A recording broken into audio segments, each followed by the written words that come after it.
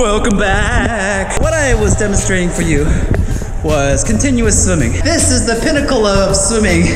Once you've learned your strokes, put it all together, all that hard work and training goes into this. You just continuously swim. It's just like running on a treadmill for say like an hour. It takes a certain amount of skill, takes a, a certain amount of experience, and it takes a certain amount of stamina in order to pull this off. So in this video, I'm gonna give you some tips on how you can do continuous swimming. If you apply these tips to your regimen, then you'll be swimming nonstop in no time, okay? So let's get started. First of all, in order to do continuous swimming, you wanna think of it like a jog, okay?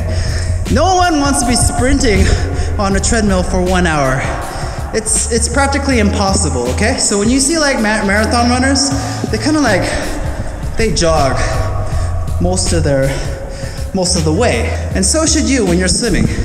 And the equivalent to jogging is breaststroke. When you do front crawl, when you do freestyle, when you do back crawl, when you do butterfly, they are in a totally different category and they require a lot more energy output and it requires a lot more stamina in order to keep that going for say like an hour. If you want to be doing like 100 laps continuously, you gotta think long term. Can you do butterfly for one hour continuously?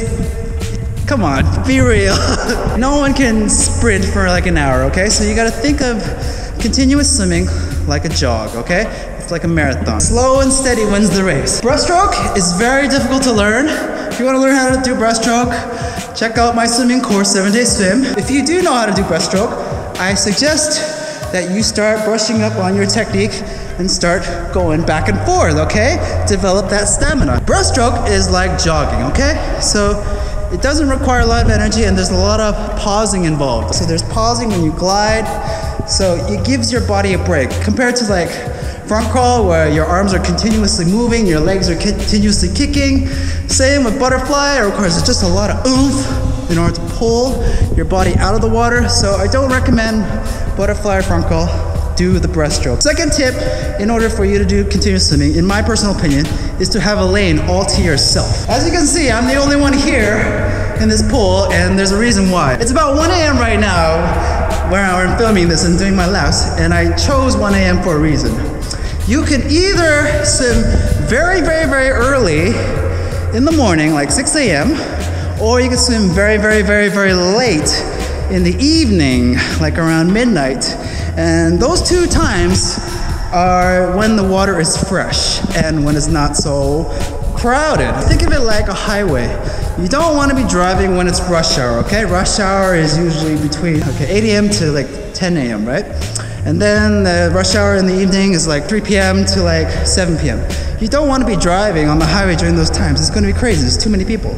Same with swimming. Your local swimming pool has certain times of the day when it's just too crowded, there's too many people in the pool, and it's just, you gotta share lanes with other patrons. And I find that sharing lanes with other people, it just throws my game off. If I wanna get focused, if I wanna be in the zone, I need to have a lane all to myself in order to do this. You've got to find a time when there's no one in your lane. Check out your local pool schedule, ask the staff there when's a good time, when it's the most opportunistic to have a lane like this all to yourself. You want to have that lane all to yourself. So find that time. I live in a condo, so I can have access to this pool 24 hours and I can swim really, really late in the evening and I take advantage of it. Third tip that I can give you in order to do continuous swimming is to take advantage of your turns. When you're turning or when you're pushing off the wall and gliding, that's your break.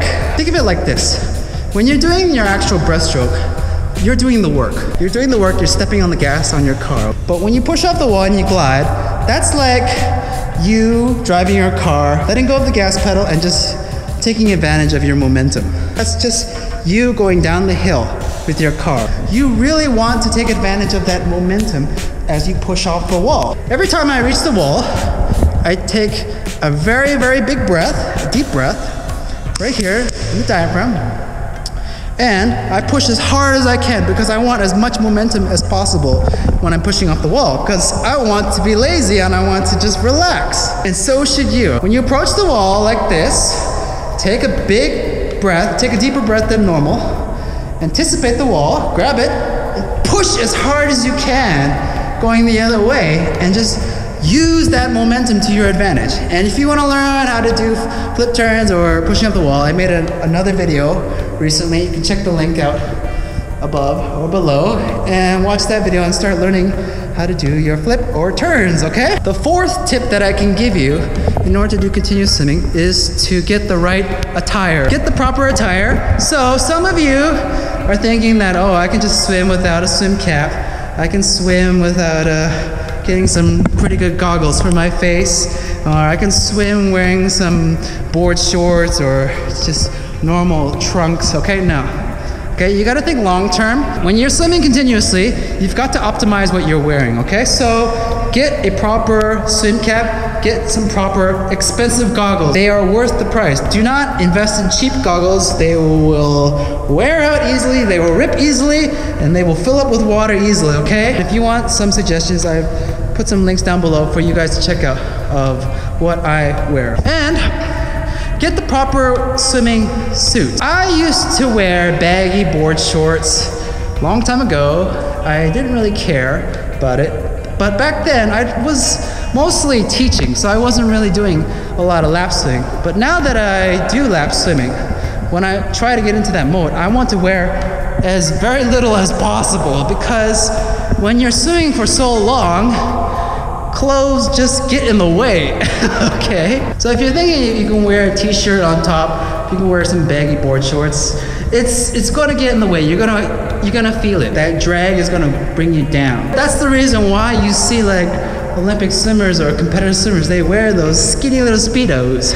And yeah, it looks very embarrassing, but believe me, it works. When they do the kind of swimming that they do continuously for so long, their body heats up really fast. I feel it in my body. I, I, am, I feel like I'm sweating in a sauna when I'm just pushing it nonstop. And you're gonna, you're gonna feel it too. It's just like when you're, you're jogging on a treadmill for an hour or more, you're just drenched with sweat. You're soaking with sweat. And it's the same phenomenon when I'm doing my continuous swimming.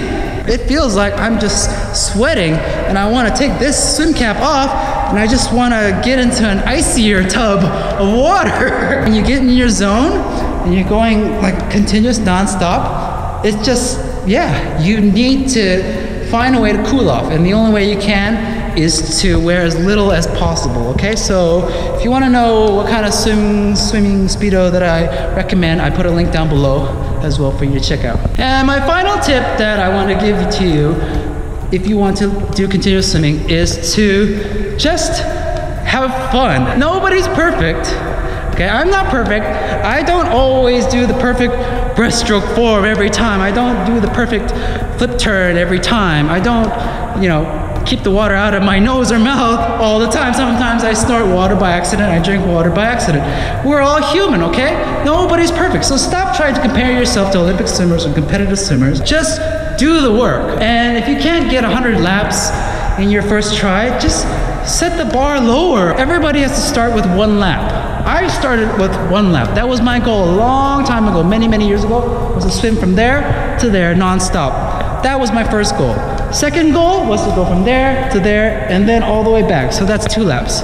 Then three laps, then four laps, then five. And then eventually you learn how to ride that bike continuously and you can just bike forever. Then the same thing goes with swimming.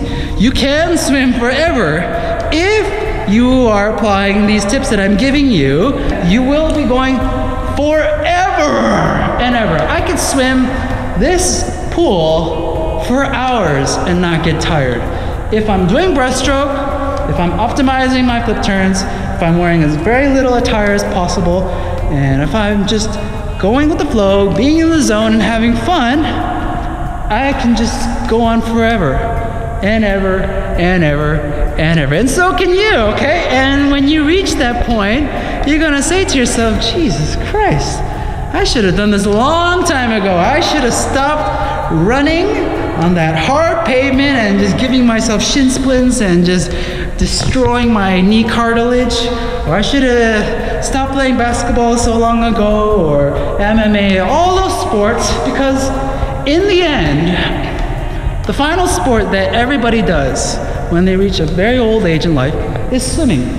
It's the first thing that you are born in. You're born in a pool of water in your mother's womb, and you're swimming like an old man at the end of near the end of your life lifespan. Okay, so swimming is the first and final sport that you will ever perform. Okay, so you might as well start learning it now and doing it now. You can join our private Facebook group that I have set up where you can ask questions to me or you can just film your swimming and ask for feedback and I can give it to you. Click the link below, it's private and I'll see you in there. And if you need to learn how to swim, you don't know where to start, I have a swimming course online, totally affordable called 7dayswim.co. All right, so take care. I'll see you later. Bye.